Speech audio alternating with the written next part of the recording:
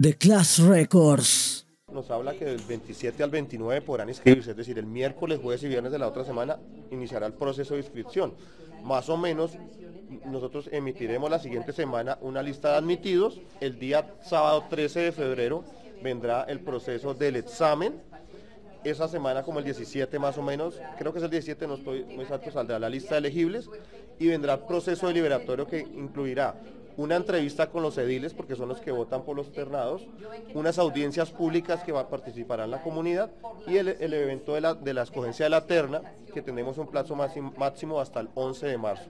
Y ya después del 11 de marzo, posterior vendrá la entrevista al alcalde y más o menos el 1 de abril se estarán nombrando alcaldes locales. En el caso de los medios locales, ¿cómo podemos apoyarlos?